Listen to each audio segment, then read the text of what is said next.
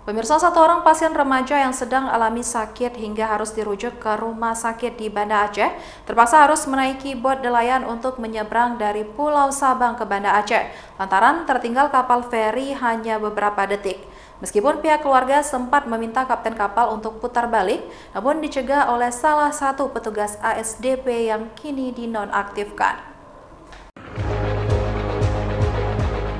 Beginilah detik-detik seorang pasien MAA 13 tahun yang sedang dirujuk dari Pulau Sabang ke rumah sakit di Banda Aceh.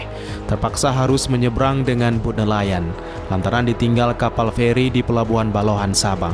Padahal hanya selisih beberapa detik sebelum pasien tersebut tiba di pelabuhan. Peristiwa tersebut terjadi pada Kamis 3 Agustus lalu. Dalam rekaman CCTV yang telah diviralkan di medsos, terlihat korban tiba di pelabuhan saat setelah kapal feri tersebut berangkat. Dan dari rekaman tersebut, sempat ada perbincangan jika kapal feri tersebut bisa saja balik arah jika ingin menjemput korban. Peristiwa tersebut juga mendapat respon dari cuitan Twitter mantan Menteri Kelautan dan Perikanan Susi Pujastuti karena merasa iba dengan kondisi tersebut dan meminta keadilan untuk ditegakkan akibat peristiwa tersebut.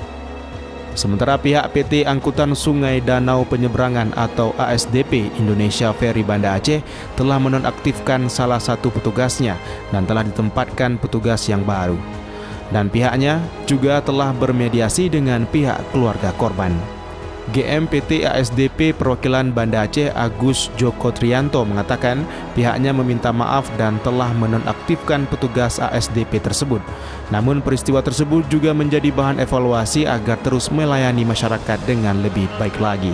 Kejadian hari Jumat tanggal uh, eh, 3 Agustus kemarin, kami mohon maaf atas ketidaknyamanan yang terjadi di Pelabuhan Balohan uh, dan untuk petugas yang uh, bersangkutan kami nonaktifkan sementara ter terkait dengan pelayanan yang kurang pantas. Ke depan kami akan tetap melakukan pembinaan kepada staf kami terutama yang di frontliner di lapangan terkait dengan cara menghadapi para pengguna jasa atau pembeli.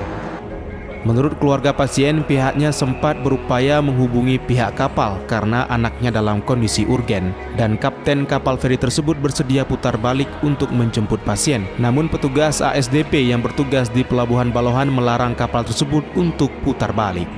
Dari Kota Banda Aceh, Topan Mustafa, Ainus melaporkan.